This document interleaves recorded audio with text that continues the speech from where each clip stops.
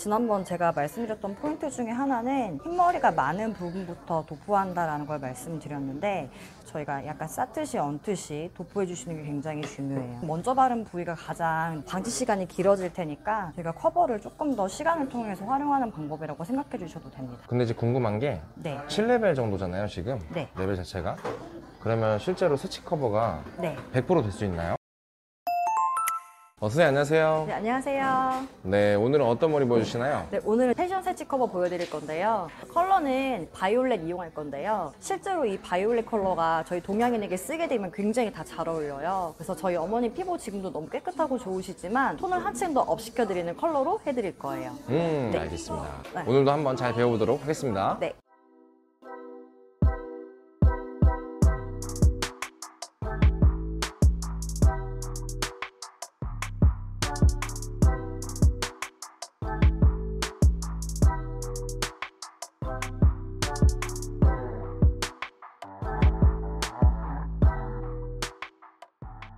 저희 어머님 전체적으로 가까이서 보시면 뭐 흰머리 양은 어느 정도 조금 있으신 편이세요. 흰머리 양 먼저 체크를 해보실 텐데 저희 어머님은 약간 웨이브가 있으시잖아요. 그래서 웨이브가 있으신 경우에는 그냥 체크하시게 되면 잘 안 보이실 수가 있어요. 그래서 그럴 경우에 빗질을 조금 깔끔하게 하셔가지고 핀셋 같은 걸로 조금 더 평평하게 만들어 놓으신 다음에 그 다음에 측정하시면 훨씬 더 좋으세요. 어, 레벨 스케일을 그냥 쓰는 게 아니라 약간 펼쳐서 모발하고 겹쳐서 쓰자. 그냥 저희가 됐을 때와 이 모발의 양과 맞춰서 약간 펼쳐서 됐을 때 20%에서 뭐 많게는 30% 정도까지 어, 되실 것 같아요. 그래서 저희가 세치량이 30%다라고만 해도 굉장히 많은 양이란 걸 알 수가 있어요. 그리고 저희 어머님이 제일 많으신 곳은 이 뒤쪽인데요. 저희가 그냥 이 모발을 이렇게 일반적으로 놨을 때 저희 선생님들이 지금 어머니 정도의 세치는 거의 막 70% 이렇게도 보시는 분들이 있거든요. 실제 70%라는 흰머리 양은 이 정도의 흰머리 양이에요.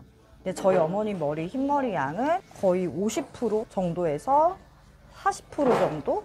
라고 음. 보실 수가 있겠죠. 그래서 실제로 저희가 그냥 육안으로 보는 것과 이렇게 레벨 스케일을 활용하시게 되면 흰머리 양이 굉장히 정확하게 측정하실 수가 있는데 실제로 저희가 보게 되면 생각하시는 것보다 양은 굉장히 적습니다. 그래서 정확한 진단 이렇게 다시 한번 체크 부탁드릴게요. 네. 또 하나 저희 기염모 쪽 레벨 스케일 체크도 잊지 않으셨을 것 같아요. 그래서 기염모 쪽 레벨 체크하시는 거 저희 한 2cm 정도 들어서 올리신 다음에 저희 갖다 대시면 사사키에서 5레벨, 뭐 6레벨 정도의 느낌의 끝쪽은 거의 뭐 7레벨 정도까지 밝아져 계신 모발이라고 생각하시면 되세요. 음, 딱이 정도가 자연스러운 갈색 정도의 레벨이세요. 그래서 길이 쪽에 또 같이 퇴색 잡으실 수 있게 오늘 예쁘게 컬러 해드릴게요.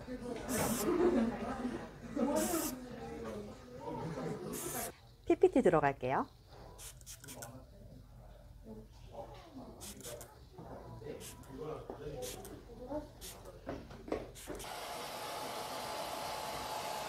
어, 선생님 오늘 염색은 어떻게 들어가나요? 네, 염색은 저희 7레벨 커플 브라운 쓸 거예요. 여기에 아까 제가 채도감을 조금 얹어드린다고 말씀드렸잖아요. 그래서 두 번째는 저희 컨트롤러 바이올렛 쓸 건데 어, 약간 20% 정도 아 근데 이게 새치 커버 약이잖아요. 네, 근데 여기에 지금 바이올렛 조정색을 20%를 넣었는데 네. 그럼 이렇게 섞어도 큰 문제가 없나요? 저 그런 질문 굉장히 많이 받는데 시각적으로 저희가 컨트롤러가 들어가게 되면 색감이 조금 더 들어가게 돼서 전체적으로 커버력의 결과에는 어, 차이가 별로 없고 오히려 채도감이 올라가서 더 커버가 잘 돼 보이는 느낌도 있어요. 음, 알겠습니다. 항상 느끼는 거지만 지금 사사키의 염색약제 용량이 어느 정도 되죠? 120g이에요. 지금 저희 새치 길이가 한 3cm 정도 자라셔서 70g 정도에 맞춰서 들어갈 거고요. 약 남으면 그 남은 약액에 길이 연결해서 들어가는 것도 보여드리도록 할게요. 네. 지금 1대 60g이어서 저희 컨트롤러 12g 더 추가해서 들어가도록 하겠습니다. 또 6% 지난번과 동일하게 들어가도록 할게요.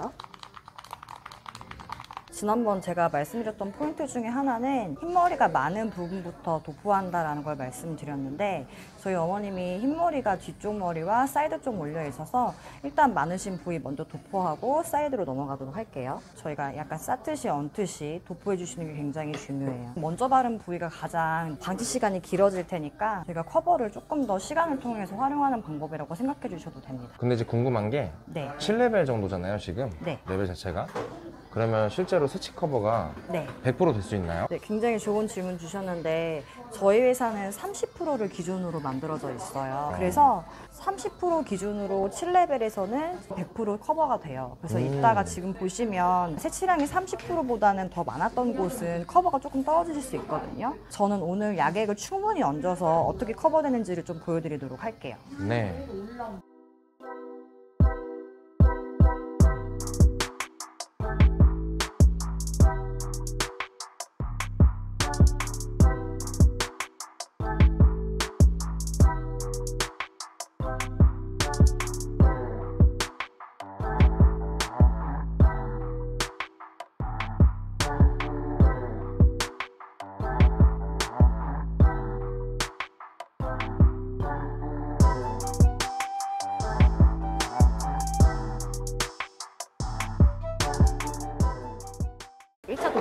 끝났고요. 지금 보시면 흰머리 많은 부위에만 제가 얹듯이 발라서 굉장히 많은 양 도포된 거 보이실 거예요. 길이는 저희 clear 들어갈 거예요. 그래서 음. 지금 저희 도포하고 저희 3분의 1 정도 그냥 넣으셔가지고 연결할게요. clear를 섞으면 색이 뭐 퇴색되거나 변하거나 그런 건 없나요? 어, 만약에 탈색하신 경우, 정말 베이스가 밝으신 모발의 경우에는 당연히 clear를 섞게 되면 조금 더 약액의 채도감이 파스텔해지겠죠. 근데 지금 흰머리 커버하시는 고객님들은 이미 길이 쪽에 잔여 틴트가 남아 계신 경우잖아요. 이 퇴색 정도와 맞춰서 먹지지 않게 막아주고 그리고 오히려 퇴색도 더- 조금 더 오랫동안 갈 수 있는데 그 이유는 방치 시간은 저희가 기본 염색 발색 시간으로 똑같이 볼 거기 때문이에요. 음, 알겠습니다. 한번 발라보도록 하겠습니다. 네.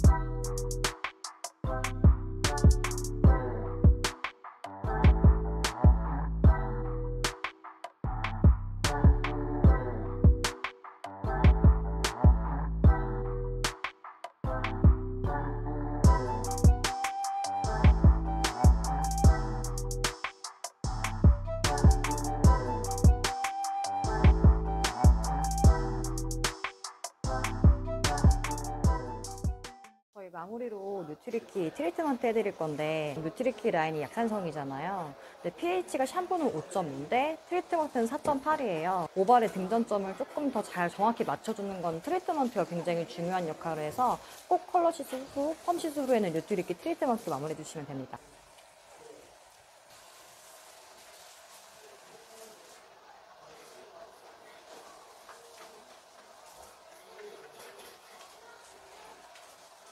지금 이제 제가 볼 때는 위쪽에 볼륨 때문에 층을 좀 많이 해주신 것 같아요. 근데 여기가 조금 더 슬림하면은 더 예쁠 것 같긴 하거든요.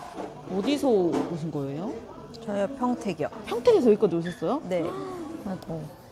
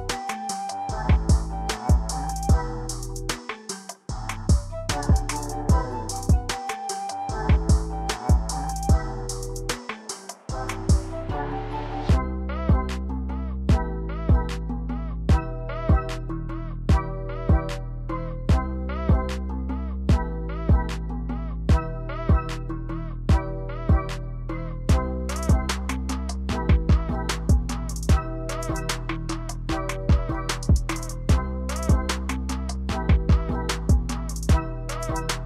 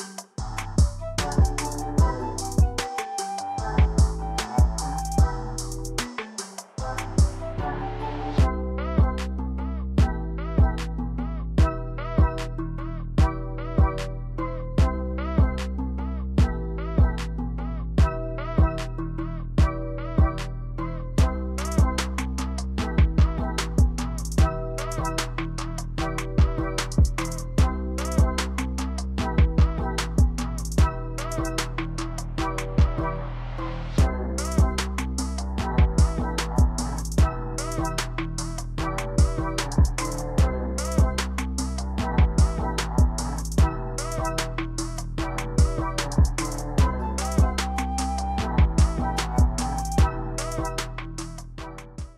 지금 그로잉에서 예쁘게 커트랑 드라이까지 해주셔가지고 완성됐는데요. 정말 대변신이시죠?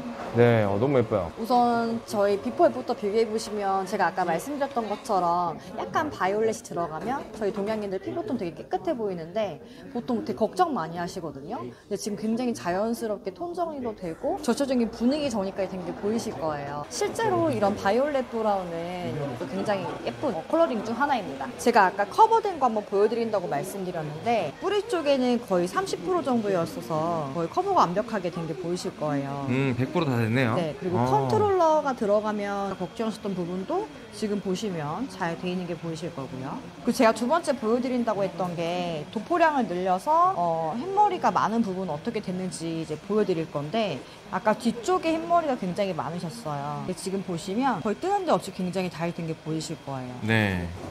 아까 양이 되게 많았는데 어, 7레벨 정도 이렇게 커버가 다 되네요. 그래서 흰머리는 저희가 도포량을 조절하시는 것만으로도 굉장히 커버력에 영향을 많이 주기 때문에 충분한 도포량이 굉장히 중요해요. 이론적으로는 약액을 한 단계 낮춰서 들어가시는 게 제일 좋은 방법이긴 한데 조금 도포량을 늘려서 어, 충분한 방지 시간을 보시면 충분히 밝고 예쁘게 커버될 수 있다라는 꿀팁과 함께 사실 이번 컨텐츠에 채도감을 넣은 이유 중 하나는 고객님들께서 염색을 집에서 하시는 경우가 굉장히 많잖아요. 근데 이렇게 반사빛이 들어가시게 되면 집에서 하실 수 없는 예쁜 컬러가 완성이 된다는 거 한 번 더 기억해 주시면 좋을 것 같아요. 오늘 저희 모델분께서는 직업적으로 사회공헌을 많이 하고 계셔서 저희가 특별히 좀 모셨어요. 안녕하세요. 평택에 있는 안중 백병원에서 근무하고 있는 간호사입니다. 간호사로 근무하시면서 코로나로 어떠셨는지 궁금해요. 솔직히 편하게 미용실을 드나들 수 있는 상황은 아니었고 세치가 이렇게 있으면서도 밝은색 컬러를 환자들을 위해서도 할 수도 없는 상황이었는데